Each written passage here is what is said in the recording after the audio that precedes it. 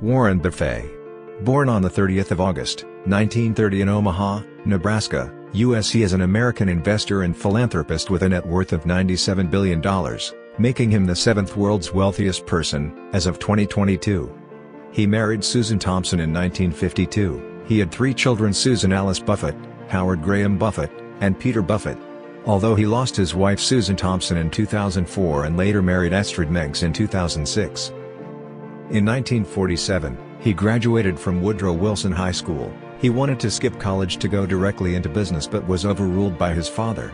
He developed interest in investing in business at a very young age. He was inspired by a book called 1000's Way to Make $1,000. He had BSc in Business Administration and MSc in Economics. By 1960, Buffett operated seven partnerships. He asked one of his partners, a doctor, to find 10 other doctors willing to invest $10,000 each in his partnership.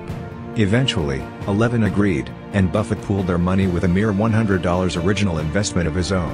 In 1962, Buffett became a millionaire because of his partnerships, which in January 1962 had an excess of $7,178,500, of which over $1,025,000 belonged to Warren Buffett.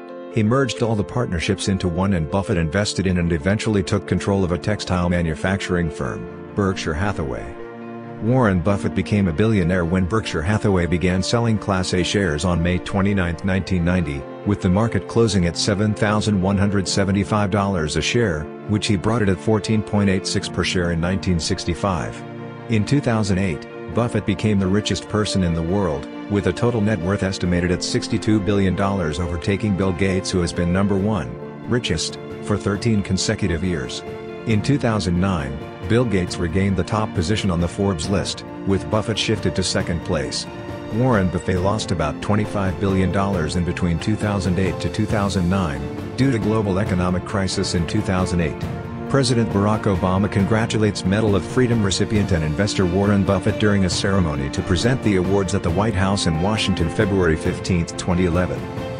He founded Buffett Foundation in 1964, which was renamed the Susan Thompson Buffett Foundation in the honor of his wife. He awarded $4 billion to five different foundations. He also pledged on certain condition, in June 2006 to give 10 million Berkshire Hathaway Class B shares to the Bill and Melinda Gates Foundation, worth approximately $30.7 billion as of June 23, 2006, making it the largest charitable donation in history.